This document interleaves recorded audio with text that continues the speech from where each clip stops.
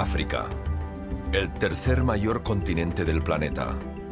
30.270.000 kilómetros cuadrados. El 32% de la superficie total terrestre. La gran reserva mundial de la biodiversidad. Sus principales ecosistemas son el desierto, el Sahel, la sabana, el Valle del Rift, los grandes lagos. Fantásticos paraísos para la vida salvaje.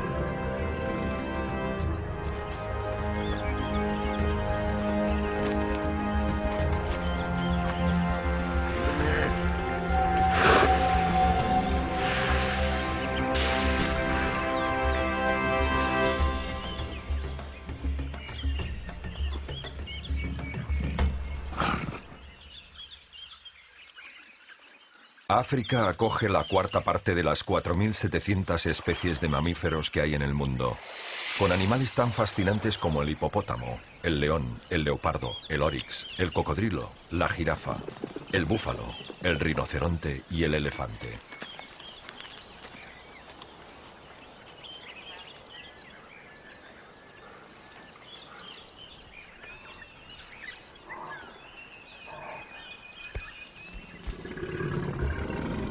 La población, de cerca de mil millones de habitantes, se duplica cada 20 años, extendiendo la urbanización por todos los rincones del continente. Esto ejerce una enorme presión sobre la vida salvaje en términos de competencia por la tierra, el agua y los alimentos. África contiene 1.200 áreas protegidas que comprenden el 9% de su superficie. Estas reservas, islas de vida salvaje, se encuentran cada vez más amenazadas por el desarrollo humano, que presiona por reducirlas cada vez más.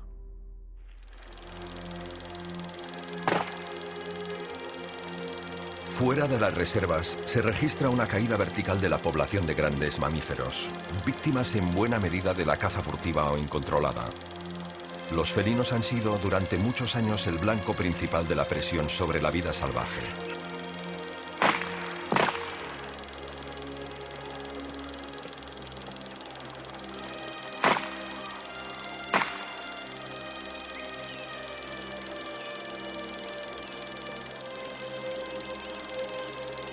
África fue durante décadas un campo de exterminio para muchos de estos animales.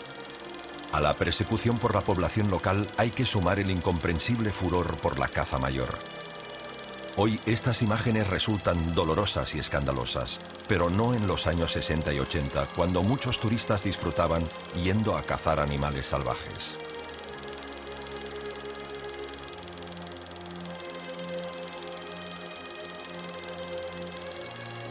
La caza era entonces una pujante fuente de ingresos para las economías locales.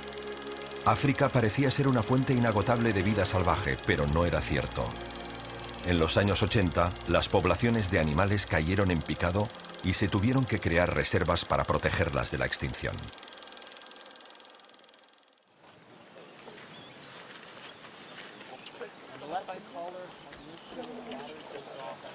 Los parques naturales más exitosos contienen hoy en día una vigorosa industria turística que aporta beneficios directos a la comunidad. Pero fuera de estas áreas, la situación para la vida salvaje es desastrosa. En África, un continente poco industrializado, la mayoría de la población vive de los cultivos y los pastos que les proporciona la tierra, aunque sea poco fértil, y el agua escasa. El ser humano es el principal enemigo y aniquilador de las especies. El gran depredador de África, amenazando la existencia de los grandes carnívoros, el león, el leopardo y el guepardo, a una ignominiosa lucha por la supervivencia.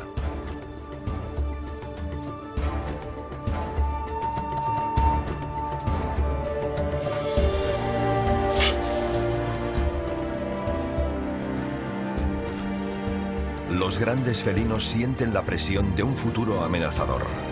Se acerca el fin de los grandes felinos.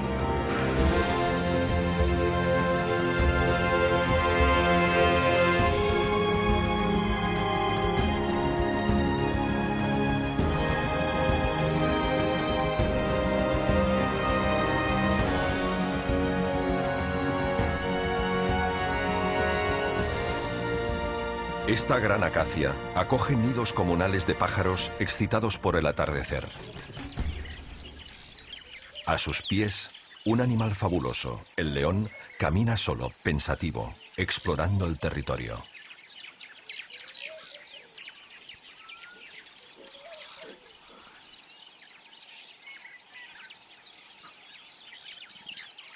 El leopardo también es un gran explorador. Investiga todos los rincones del territorio en el que habita y no hay árbol, barranco, cueva o charco que no conozca.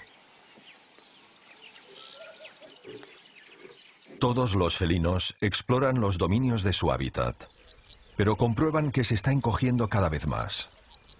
Su libertad se reduce a medida que la urbanización de los humanos avanza. It's very difficult, and I think if, if population growth continues in the world over the long run, it, it, there won't be space left for, for large predators. I think it's if, if we as a human species continue to reproduce at the rate we are doing, we will not be able to save enough areas for wildlife. Um, yeah, that is the sad reality. You need the governments of all the other countries to wake up and quickly, you know, preserve some land um, so that the wildcats can still forage in there. And then, you know, start settling down.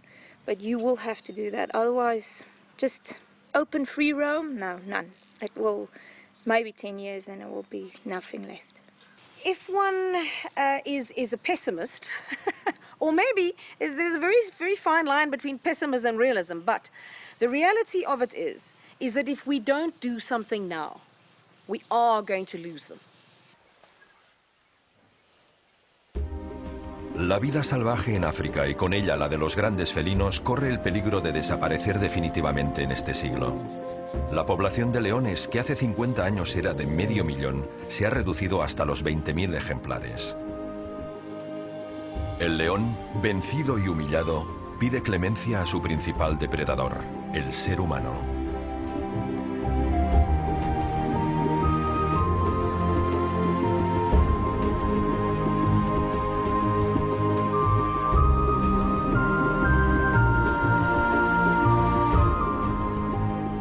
Antiguamente extendían sus dominios también por Europa y Asia, con la excepción de los desiertos más áridos y las junglas más húmedas. Hoy han quedado reducidos a áreas cada vez más pequeñas del África subsahariana. Los bosquimanos siempre vieron los leones como unos vecinos muy poderosos.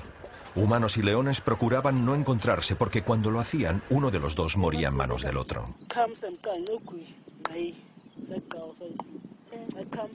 Siglos atrás se respetaban, a veces se ignoraban y otras veces competían por la caza. Rivales sobre el terreno, ambos eran y son depredadores. Lions, we almost believe that lions are stronger than us here as human beings. Yeah, it's what we believe. Lion can finish us as a human beings here. So lions are stronger. We believe that they are stronger than us here.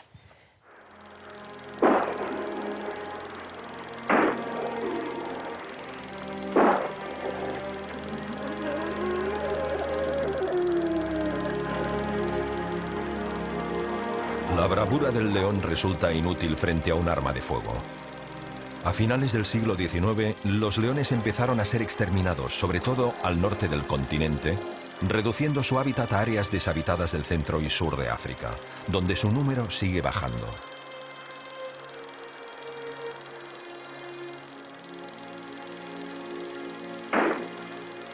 La aniquilación continuó en el siglo XX, intensificándose entre los años 60 y 90, cuando la caza mayor se popularizó entre europeos y americanos adinerados, atraídos por la excitación que proporciona matar un animal salvaje. Cabezas, pieles, patas, colas y colmillos engrosaron las salas de trofeos de miles de cazadores occidentales que decían experimentar la caza como una lucha valerosa, cara a cara, de poder a poder, entre el hombre y el rey de los animales. Pero la disputa entre iguales era una farsa. Los leones no atacan nunca para satisfacer sus aficiones, y sus armas, colmillos y uñas, aunque poderosas, no tienen nada que hacer frente a un disparo.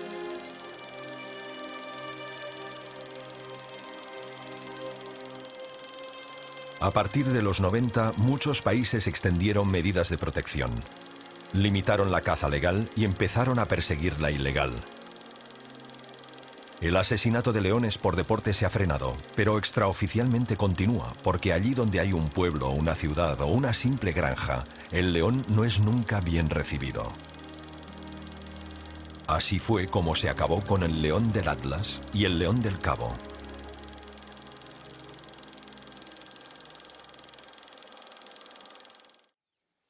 Su supervivencia, como la de tantas otras criaturas, está ahora más que nunca en nuestras manos. Cada león que sobrevive lo hace gracias a la ayuda de sociedades conservacionistas que insisten en difundir una conciencia amable y tolerante con los depredadores. This fence was, was established in the 60s. And uh, at that point in time, or prior to the, the building of this fence, this area of Namibia had foot and mouth disease. Possibly 600, 800, 1,000 lions in Namibia. That's all. About 130, 150 lions. Tammy Hot hace más de 30 años que trabaja en la Fundación Africat en el norte de Namibia. If they move out of Etosha, they're going to be shot. If they move this way, we're hoping that they're not going to be, because this is actually where they uh, live freely. But we're looking at this low number of lions and... Proporciona protección a los grandes felinos, sobre todo a aquellos que han topado con humanos y han resultado heridos, ya sea por cazadores furtivos como por granjeros que temen por su ganado. We need to go ground level with children, because they're our future farmers, teachers, politicians. They're the ones that are going to be able to manage what's going to happen to these animals later on. And then, of course, the people that are on the ground now, the farmer now. And that is where our research is so important because we need to be able to tell the farmer on the ground, these animals are, there are only a few of them, this is their natural range, we need to find a way to live together.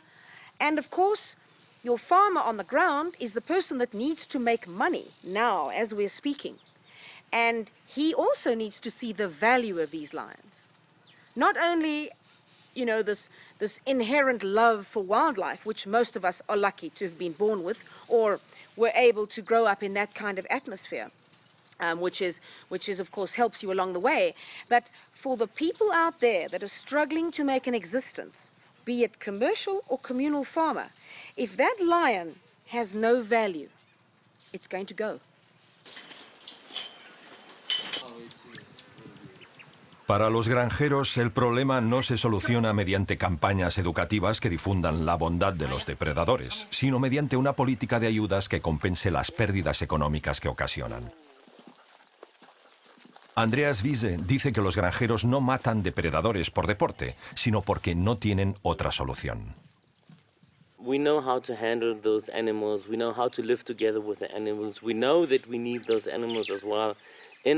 um, um, environment. And um, in the communal areas, you must take it like this. Their animals, the cattle, sheep and goats, is like a bank of money for them because they don't bring the money to the bank. As more animals they've got around them, there they can show, this is my bank account. And if they need a little bit money, they will take out one, slaughter it and sell it, or slaughter it and eat it. That's how the communal farmers are working, um, because it's a tradition from them. We as commercial farmers, uh, we see our, our animals, domesticated animals, cattle and goats and sheep, as a money-making business. We have to make money out of them, put it onto the bank, and do a business out of it. So there, there is that split coming. So if a lion or any predator comes into the communal area, it's like they're robbing their bank account. For us, it's a loss of business or loss of income um, as a commercial farmer now. That's a problem. Andreas posee una granja privada de explotación ganadera. Su caso es distinto al de las comunales, propiedades cedidas por el gobierno a varios vecinos para que las compartan. En las comunales, los ganaderos piden al gobierno que mantenga y repare las vallas que protegen su ganado de los depredadores, que les compense por las pérdidas y que, si no es así, les permita matar el animal conflictivo. Acostumbra a ser gente pobre, de forma que la pérdida de una sola cabra o una vaca les afecta mucho económicamente.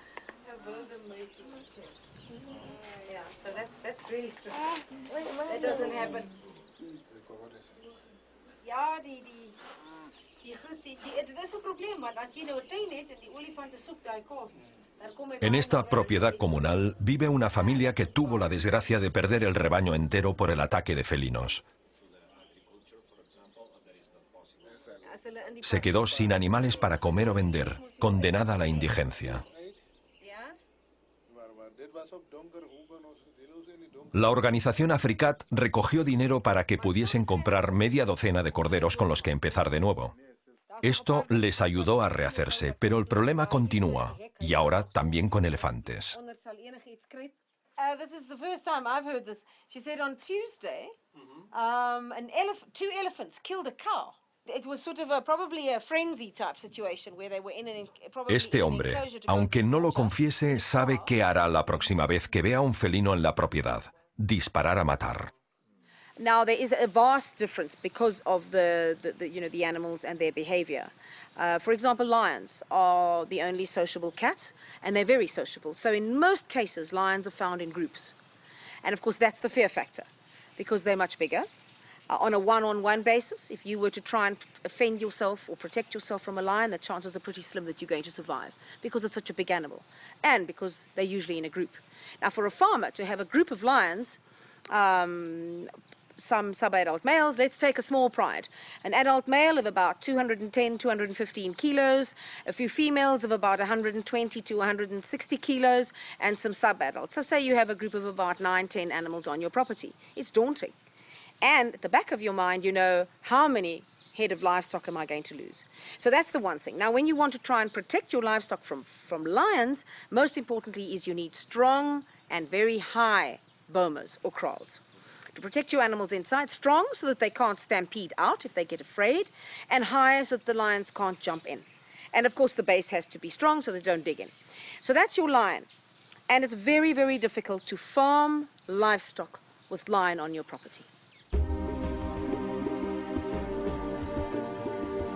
Tammy Hot ha creado un santuario.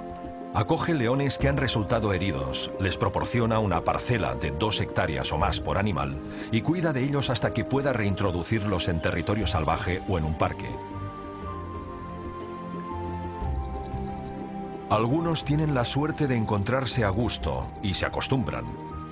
Otros, aunque no les guste, deberán resignarse.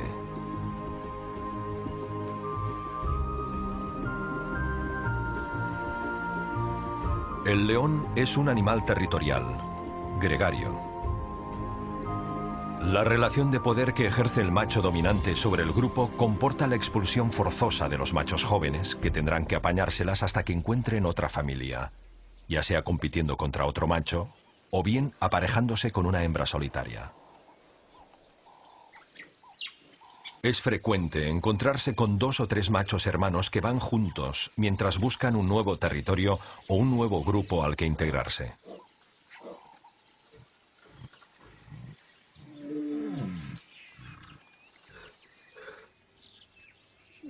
Esto les lleva a cooperar.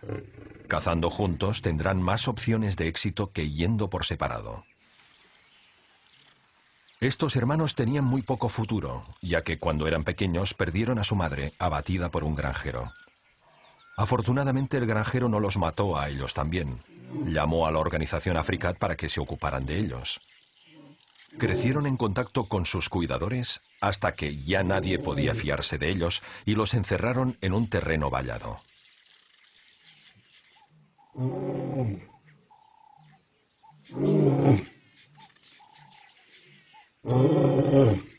Un león, por muy cariñoso que sea de pequeño, siempre será un león, y no es fácil jugar o discutir con él sin resultar herido.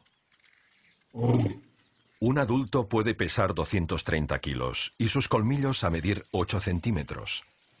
Puede parecer cariñoso como un gato doméstico, pero en condiciones de estrés, hambre o enfado, extremadamente peligroso.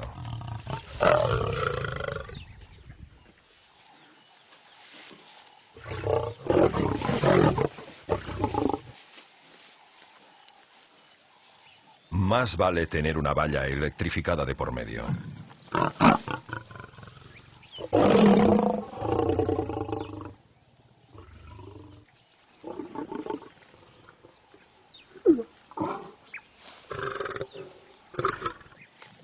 Como las personas, también sufren trastornos psicológicos. Pueden manifestar su malestar y agresividad cuando se saben condenados a vivir en cautividad, en una pequeña parcela. Su bienestar psicológico depende de cómo se adaptan a esta cautividad.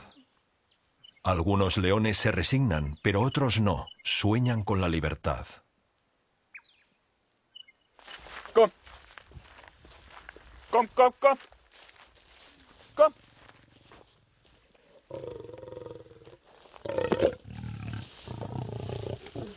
Kom.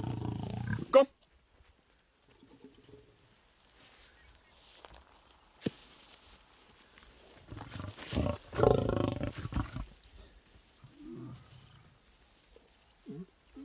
we must realize that we cannot keep destructing habitat uh, like we've done. You know, we every single place we open a mine, we put up a nuclear uh, power plant. We want to develop, and in those those processes, we we destroy habitat, and we forget that animals need habitat to survive. So, the protection of habitat and looking at sustainable development and supporting the government in creating these big air, wildlife areas which are connected, I think is crucial in the long-term survival of the cats. Esta leona parece que se ha resignado. Disfruta tomando el sol. No le incomoda la presencia distante de gente o cámaras. Nos mira fijamente de vez en cuando sin perturbarse, fingiendo ignorarnos hasta que decide levantarse y echarse a la sombra. Nadie diría que es peligrosa.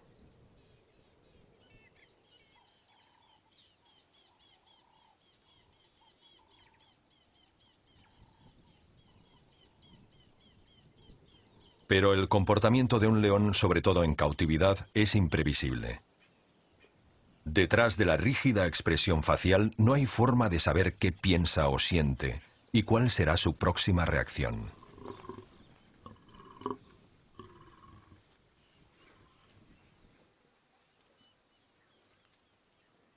Un león puede ser indolente, curioso, tímido, irritable o agresivo. Las emociones de estos animales a veces son fáciles de interpretar por el gesto del cuerpo o el movimiento de los ojos, la cola o los labios, pero a veces no lo son tanto. Esta misma leona un día atacó furiosamente el vehículo de los cuidadores. Fue una reacción inesperada, pero propia de un animal estresado. Vivir en cautividad no elimina sus instintos, sino que lo convierte en más imprevisible y peligroso.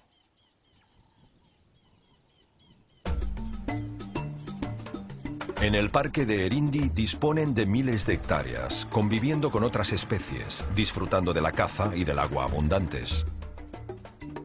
Pero aquí su libertad está vigilada. Los guardias monitorizan los leones para poder controlar sus movimientos y también para localizarlos para los turistas.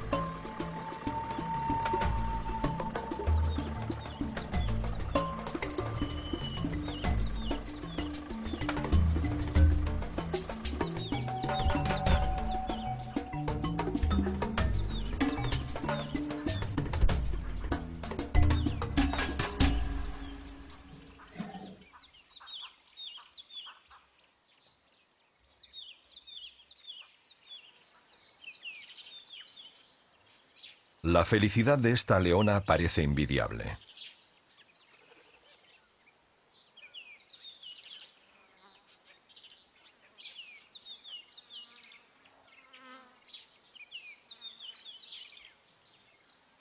Los leones son los felinos más sociables.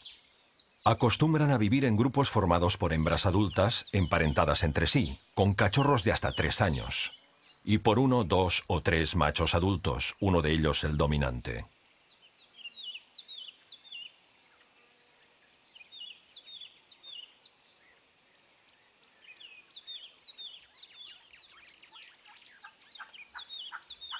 Mientras que los machos se ocupan fundamentalmente de controlar el territorio de posibles intrusos, las leonas se ocupan de la cría de los pequeños y también de la caza, para la que están mejor dotadas que los machos, ya que son más ágiles.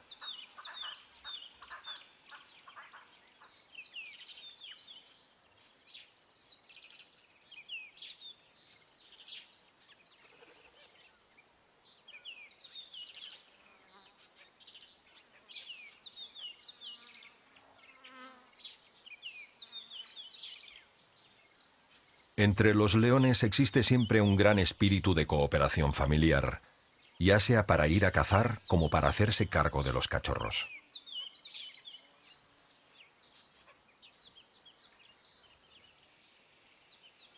Viendo la delicadeza con que los tratan, nadie diría que las leonas son capaces de luchar con tanta agresividad para cobrarse una víctima o para defenderse.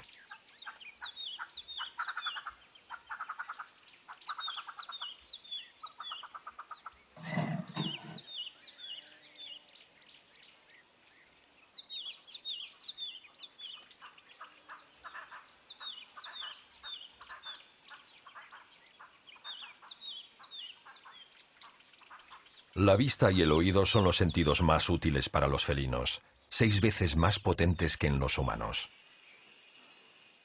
Además de buena visión frontal, su ángulo de visión periférica es muy amplio y sus retinas se adaptan increíblemente bien a la oscuridad. Por eso prefieren cazar con la primera, la última luz del día o bien durante la noche.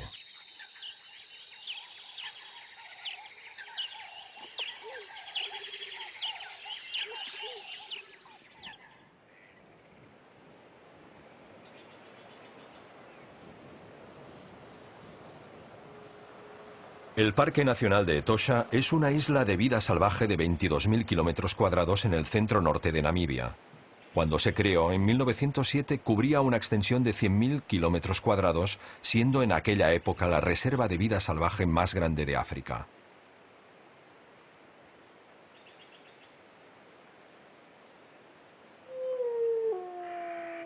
La fauna era mucho más abundante que hoy ya que no había asentamientos humanos ni dentro ni alrededor del parque. En 1947 y en 1962 se recortaron sus dimensiones para entregar parcelas de labranza a las poblaciones migratorias, provenientes sobre todo de Angola. Etosha es una inmensa llanura con ciénagas, matorrales y bosques, concentrando una fauna muy diversa de mamíferos y aves, muchas de estas especies hoy endémicas.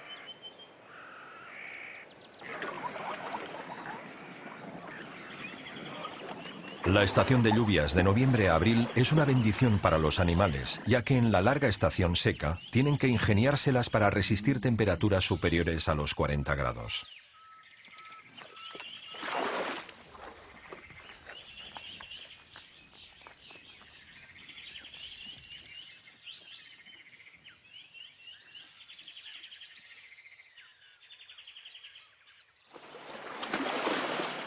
El agua de las últimas lluvias extiende la vida por todos los rincones del parque. Y una pareja de elefantes lo celebra festejando en una charca.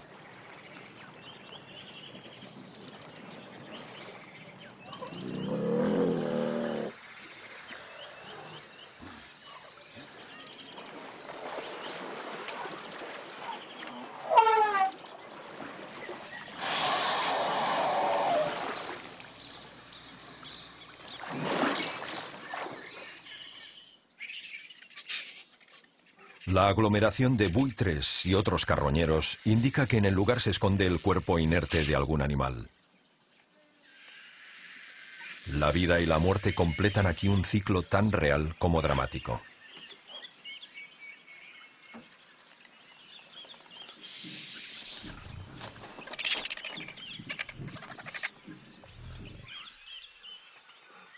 Este león ha tenido una noche muy movida. Ha cazado una cebra y la ha devorado en pocas horas. La respiración acelerada, el estómago hinchado y los ojos medio cerrados son los síntomas de una digestión pesada. Los restos se encuentran detrás del arbusto. Seguro que aún queda carne y huesos por rebañar.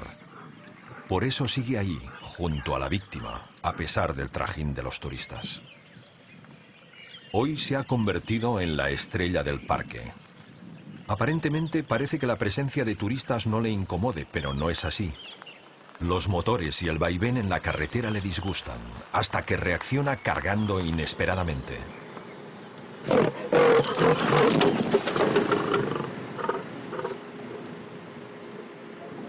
El león desconoce las intenciones de la gente. Desconfía. Cree que podría ser peligrosa.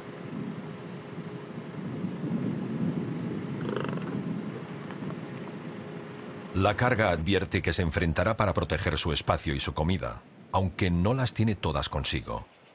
Por eso, después de exhibir su malestar, se esconde detrás del arbusto. Definitivamente, un león no es un simpático animal de compañía. the other big misconception, I think, is people always think lions are pretty cute animals. They, look at um, things like the Lion King movie or so and then think they are cute. And I mean, they are killer machines if they, if they go out and kill livestock or even humans. They are really dangerous animals, and that is what makes it really difficult to, to live with them.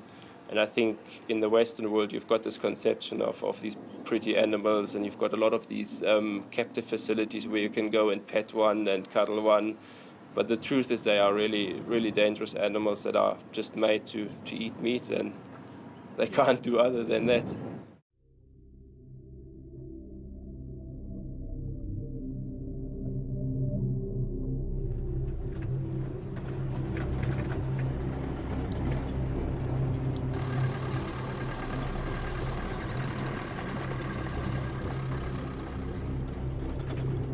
Unos granjeros vecinos del Parque Nacional de Etosha han alertado a las autoridades y a la organización Africat que tres leones machos se han fugado del parque, han penetrado en su propiedad y han liquidado una de sus reses.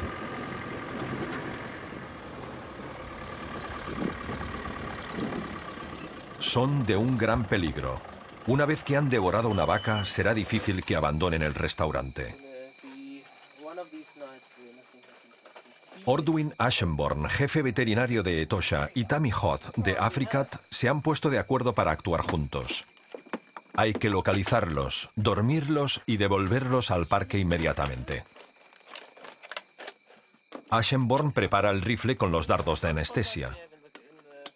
Hay que darse prisa. Hay que encontrar los tres leones lo más pronto posible, antes que los responsables de la granja decidan matarlos. I don't think so. And your speakers, oh, sorry, can you? Speakers can can't uh, know. They're connected to my sound system. Los granjeros han dado un plazo de 24 horas para que los retiren. Si no, los matarán, ya que no pueden exponerse a que ataquen más vacas o personal de la granja.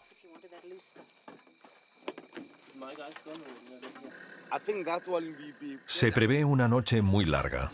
Habrá que conducir un buen rato hasta la zona donde se vio a los leones por última vez.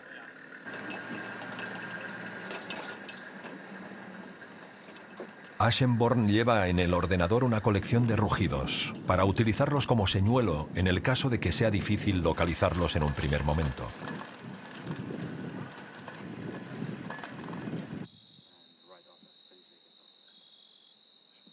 Nos encontramos con un par de personas que han montado guardia. Aseguran que hasta la noche los tres leones no se habían movido del lado de su víctima. Creen que aún seguirán protegiendo los restos de la vaca y eso les hace extremadamente peligrosos en caso de acercarnos a ellos.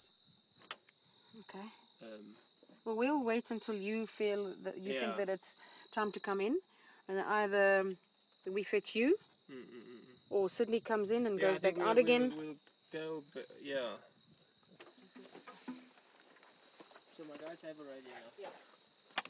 Ashenborn está preocupado por poder acertar a los tres en plena noche. De fallar los disparos del calmante sería un desastre, por lo que recomienda que solo un vehículo se acerque sigilosamente a ellos. Tammy resume qué ha ocurrido hasta ahora y lo que cree que pasará a continuación. At the moment, you know, we've had a lot of movement after dark, which is not ideal. But unfortunately, we had to wait for our vet to arrive from Okakoyo. Because this is a joint program together with the Ministry of Environment and Tourism and AFRICAT, um, obviously we had to wait for the vet to arrive, and it took him three hours to get here.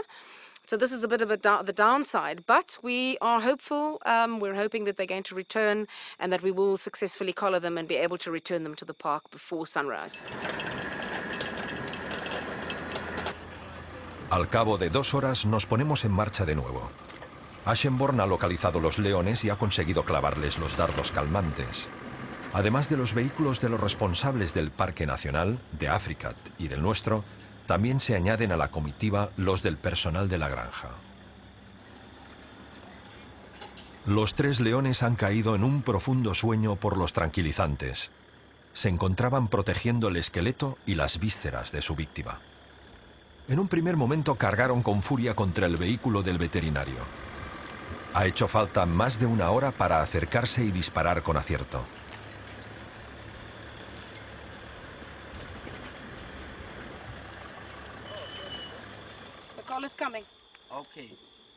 Los tres machos disfrutaban de un banquete de lujo. Una enorme vaca de más de 600 kilos.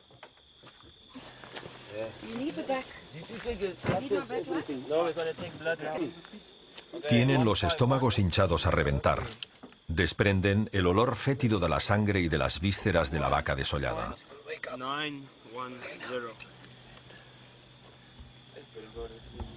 El doctor Ashenborn aprovechará para hacerles un reconocimiento sanitario, tomarles muestras de sangre e instalarles unos collares que a partir de ahora permitirán controlarlos por radiofrecuencia. Yeah, we're going to put a collar on. Yeah, yeah, I think And so. then we're to, where we're going to drop them.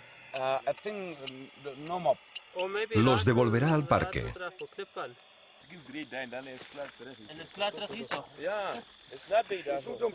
Pero para evitar males mayores vale la pena instalarles los collares para localizarlos siempre que sea necesario.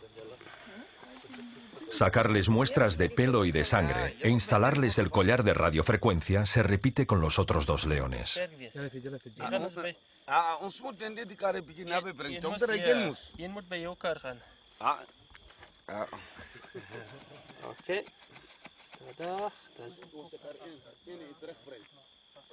Tienen que trabajar rápido porque la dosis de droga los mantiene dormidos cerca de dos horas. Pero este es un tiempo demasiado corto para todo lo que queda por hacer esta noche. Los leones tienen un gran sentido de la orientación y reconocimiento del terreno. Cuando viajan, registran todos los datos visuales y sensitivos y los graban en la memoria. Hay que evitar que vuelvan a esta granja, por lo que habrá que devolverlos al parque, pero en un lugar lo más alejado posible de aquí. Two, one. Three, two, one.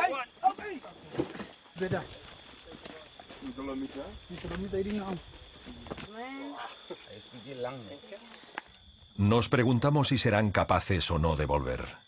No hay duda de que lo intentarán, ya que recordarán que fuera del parque se dieron un festín a costa de una víctima muy fácil de atrapar.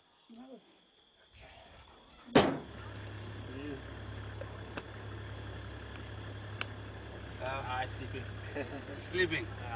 Can he reach the limit, Ben? You can reach the limit pins. Okay. Let's see the one behind you. Yeah, bo. Ahora llevan un collar de radiofrecuencia. Por tanto, será fácil conocer sus movimientos. Los granjeros deberían respirar tranquilos.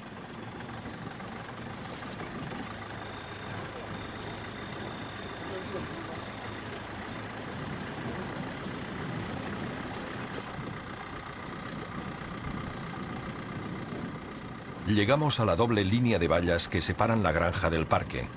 Los leones consiguieron atravesarlas, o bien por un agujero o bien por un túnel. Todos los animales salvajes se las ingenian para superar las barreras que limitan su libertad. Los elefantes acostumbran a cargar y derribarlas. Muchos otros animales excavan túneles para pasar por debajo. Se detiene la comitiva de vez en cuando para comprobar que continúan dormidos y administrarles más calmantes si es necesario.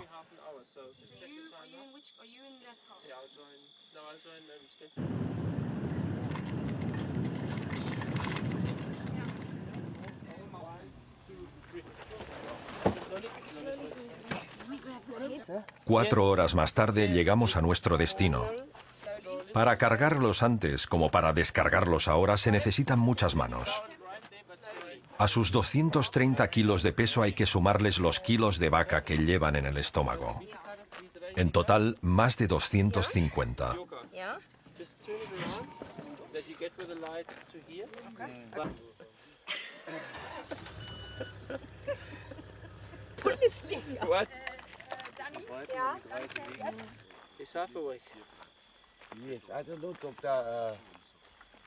El doctor Ashenborn les infiltra una dosis de droga reactiva para despertarlos. En diez minutos abrirán los ojos.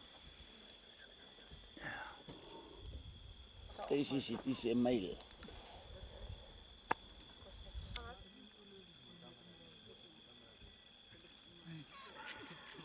werden gleich wach, ne? Und das geht ganz schnell. Okay, are we finished? Yeah, we're ready. We are ready.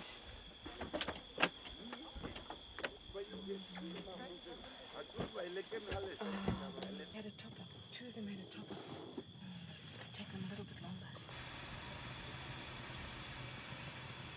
Empiezan a despertarse, aturdidos por el efecto del calmante.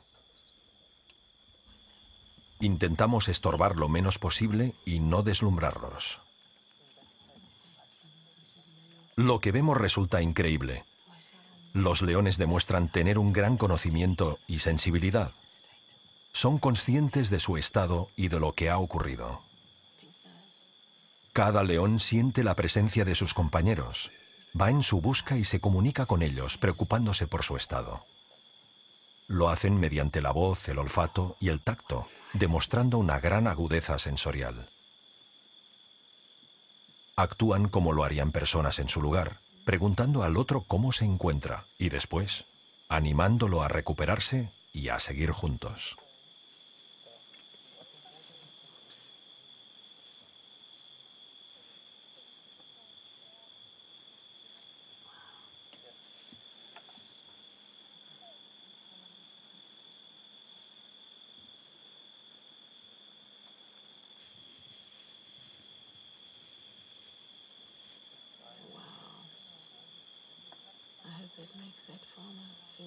Una vez que se han recuperado, deberán explorar este nuevo territorio.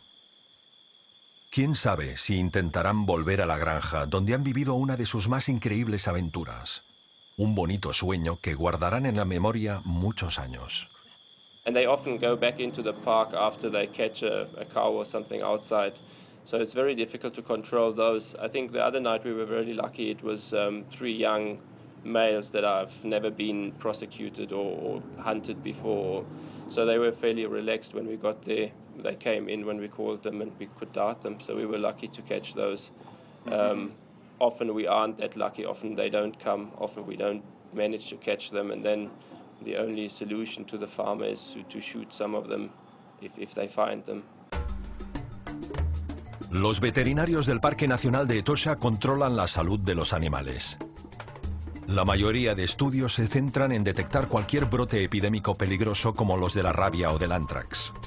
La investigación del antrax es muy importante, ya que este bacilo es muy agresivo, se generan los cadáveres en descomposición y se transmite a través de algunas moscas a otros animales, matándolos rápidamente. La preocupación de los biólogos se centra en el hecho de que en un hábitat estanco como el del parque, una epidemia incontrolable podría aniquilar una o varias especies. So in, in environments like Etosha where, where uh, the bacillus anthrax is, is uh, common and is indigenous and re recurs in natural cycles, the contraction of those bacillus or bacilli um, is quite natural. But it's part of their free range ecology.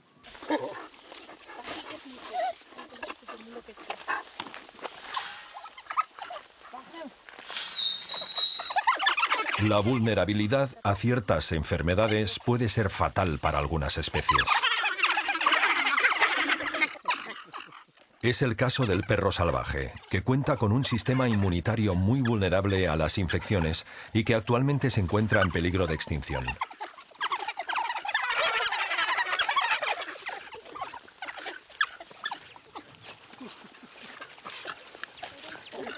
El perro salvaje vive en un círculo familiar muy endogámico. Cualquier infección de un individuo se propaga irremisiblemente afectando todo el grupo. Estos tres perros son los únicos que sobreviven a una enfermedad que ya se ha cobrado la vida de los otros 12 de su mismo grupo.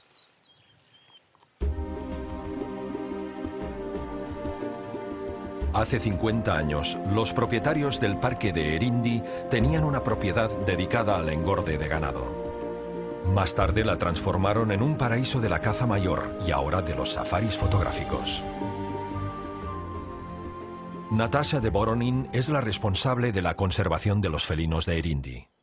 Irindi is just a, a, very special story because a number of years into the hunting, the owners of Irindi decided that they would like to 100% solely protect the wildlife in this reserve. And so they decided to move the hunting away completely and start using ecotourism as a way to bring money into this this piece of land. So I think it's very important and one of the keys to conservation is adding more land to the conservation areas that are existing. But one of the most important factors for this, I really believe, is that people must be incorporated. Farms must be incorporated. Livestock must be incorporated. We all need to learn to live together. And the key is, as we were talking previously, is conservation, which is connecting up all the aspects of Africa, every single piece of it, and helping it to function together, helping every part to work together. People to live with predators, farmers to live with predators, livestock.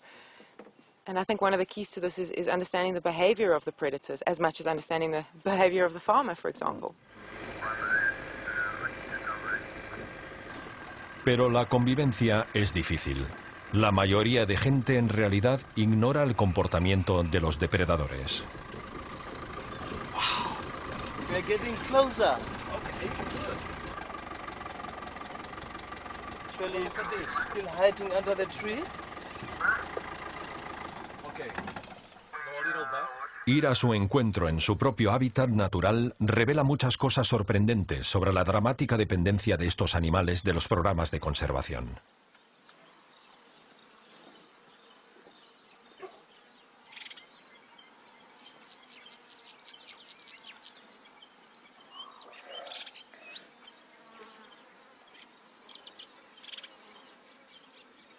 Los leones rehuyen cualquier conflicto con humanos siempre que tengan un hábitat suficientemente grande que les proporcione agua, alimentos y relación con los de su misma especie.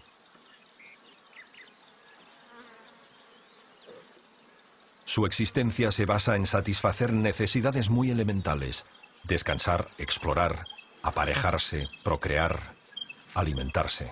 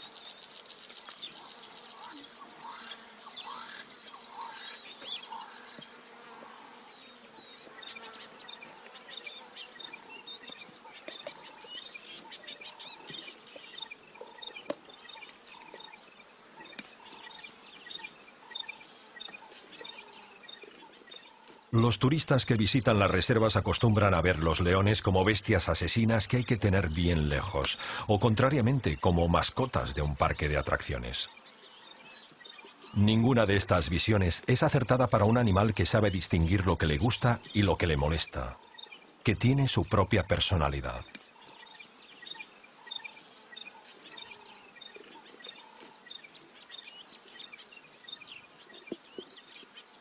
Durante horas nos hemos mantenido en silencio y a una distancia de seguridad prudente. Y él nos ha obsequiado con un repertorio de imágenes increíbles.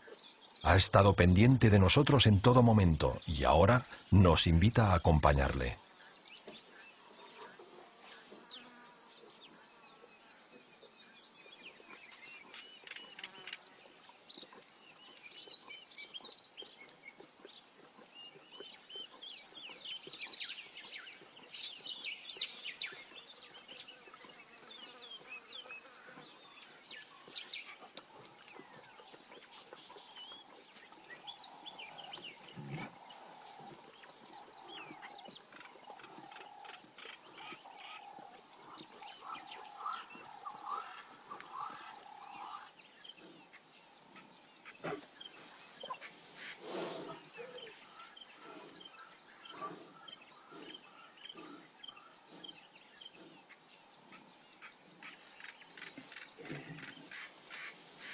Mucho tiempo compartiendo intimidad comporta mayor confianza. Very nice. That's his uh, brother. You can see now he's got a black mane. That's why we call him. That's why we call him Shadow. And they are getting quite very well. You can see as brothers, they love each other very much. Yeah. Unbelievable, no? Oh, this is unbelievable, eh? They love to play, no? Yeah. Together. And also they are having a much open wide area on the reserve. Mm-hmm. Happy in this area of them. As you can see, even they are having a nice mm-hmm. body build. And they are pretty much just four years old, and it's quite unbelievable to be that much massive at four years old. Okay. Yeah.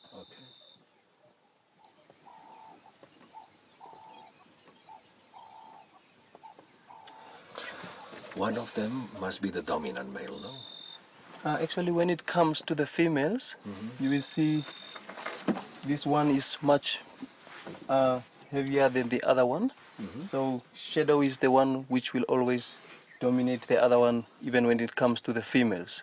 He will be the one mating with the first female that will appear to come over them before the other brother of his might get a chance to mate with the females. So pretty much you will see he's came to call his brother now, and they should be probably moving for the night to somewhere else after they finish their kill now. Yeah. No les podremos seguir.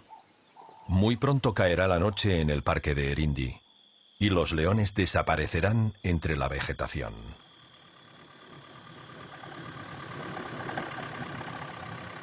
Volvemos a casa y tratamos de ver algún otro león entre la oscuridad, pero es inútil.